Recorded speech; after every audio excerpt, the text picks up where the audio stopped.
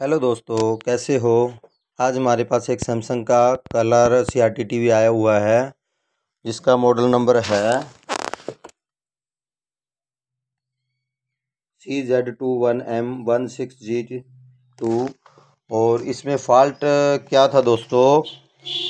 मैं आपके साथ थोड़ा साझा करना चाहूँगा। इसमें क्या था? एलईडी ग्लो हो रही थी। जो मैंने अब इसको रिपेयर किया है, इसमें एलईडी चल रही थी, पर इसमें ड्राइवर के वोल्टेज नहीं थे। इस पर ड्राइवर के वोल्टेज नहीं थे।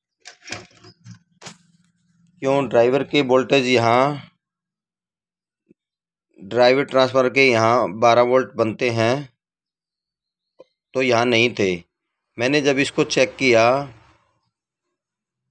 तो मैंने जब इसको चेक किया तो मैंने इसका ये जंपर उखाड़ा तो यहाँ पे सात वोल्ट जा रहे थे। फिर मैंने इसका प्रिंट को चेक किया, फिर यहाँ पे मैंने आके नीचे आने के बाद मैंने ये आईसी आपको दिखाई दे रही होगी जो वोल्टेज बनाती है, पाँच वोल्ट और आठ वोल्ट यहाँ इस पिन पे आठ वोल्ट भी आ रहे हैं और पाँच वोल्ट भी आ रहे हैं। तो ये भी ओके होने के बाद मैंने फिर इसका ये व्यू चेंज किया। व्यू से भी कोई फ़र्क नहीं पड़ा। फिर मैंने इसका वर्टिकल आईसी ओपन किया। फिर भी कुछ फ़र्क नहीं पड़ा, ये वर्टिकल आईसी है। तो दोस्तों, फिर मैंने क्या चेक किया? इसका जो ये पीएफ है ना, जो ये बेस से जो पल्सिस का पीएफ जा रहा है, ये पीएफ ख़राब था। इस पीएफ को चेंज करने के बाद सेट ओके हो जाता है और ड्राइवर वोल्टेज भी प्रॉपर आने लगते हैं। जिस तरह मैं आपको दिखाता हूँ, जिस तरह ये मैंने अभी सेट को ऑन किया है तो देखो ये सेट मेरा अभी ऑन हो गया है। आपको शायद दिखा रहा हूँ एक मिनट में। ये देखो, आपको शायद शीशे में दिख भी रहा होगा। अब ये देखोगे आप यहाँ तो आपको यहाँ ये मल्टीमीटर है। मल्टीमीटर को मैं डीसी की रेंज में रखता हूँ। इस तरफ़ करता हूँ। ये देखना। यहाँ आपको ये बारह बोल्ट आएँगे। ये ये ड्राइवर पे आपके ब... एक मिनट दोस्तों। ये देखो दोस्तों, ये ड्राइवर पे यहाँ पे मापेंगे तो ये देखो मल्टीमीटर तेरह वोल्ट शो कर रहा है।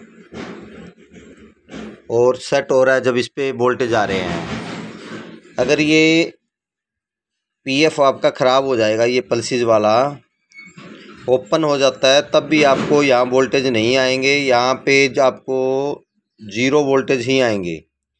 और ये रेस्टेंस है जो वोल्टेज देती है आपको, ये यहाँ से आप देखोगे, ये ये कैपेसिटी से ये रेस्टेंस लगी हुई है। इस तरफ़ तो आपके वोल्टेज आएँगे। और इस तरफ़ आपके वोल्टेज नहीं आएँगे, ये रेजिस्टेंस पूरी हीट होगी। तो मैं आपके साथ ये फॉल्ट दोस्तों साझा करना चाह रहा था। अभी कई बार किसी मैकेनिक के साथ ऐसा दिक्कत हो तो उसको इतनी मेहनत करने की ज़रूरत नहीं है।